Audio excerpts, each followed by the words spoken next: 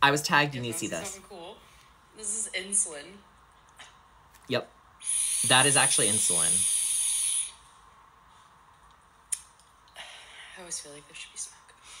Um, can you believe that though? It's not liquid, it's powder. Yeah. I don't think I have any diabetic followers, but Hey everyone, I'm Ethan. I'm a diabetes pharmacist. Let's talk about it. So I'm sure you're all wondering, Ethan, why have you never told us about this? So the brand name of the inhaled insulin is called Afrezza. Pretty much just a dry powder formulation of rapid acting recombinant human insulin. In short, it's just really short acting insulin. Why is it not more popular? So number one, most insurances don't cover it. And number two, the dosing can be a pain. So it's only in four units. And just to give you an example, these are the cartridges that actually go in that inhaler. So you have a four units, which is the blue one, eight units, which is green, and then 12 units, which is the yellow. But Ethan, where's the one unit? That's the tricky thing. There is no one unit, so you're really just basing it off of four units every time you're dosing. Also, there's no long acting inhaled insulin. If you need long acting, you're gonna have to inject yourself anyways. With ultimately, with a lot of diabetes patients, you're gonna need long acting insulin. But then what if you need more than 12 units? What you'll have to do is, is with one cartridge, you inhale it, and then you have to use another cartridge to inhale that as well. Which, if you couldn't guess by now, a common side effect is like coughing and wheezing, which is why if you have asthma or COPD, you cannot use this medication. And then with this insulin, you're gonna wanna store it in the fridge because it's only good for 10 days at room temperature. And with that inhaler piece, you have to replace it every 15 days. Hey, if you only need a mealtime insulin, it may be beneficial for you